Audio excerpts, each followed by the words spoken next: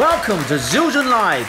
Ladies and gentlemen, please welcome the one and only Omar Hakim.